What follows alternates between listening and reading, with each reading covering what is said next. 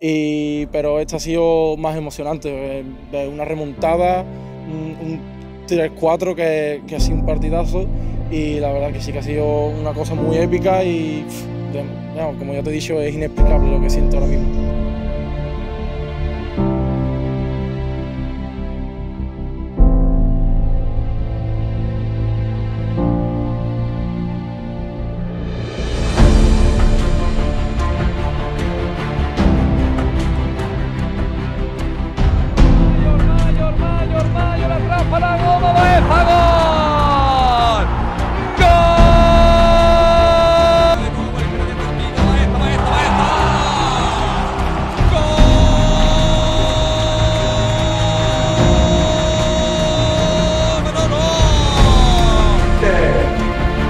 yo lo conozco como ah, él.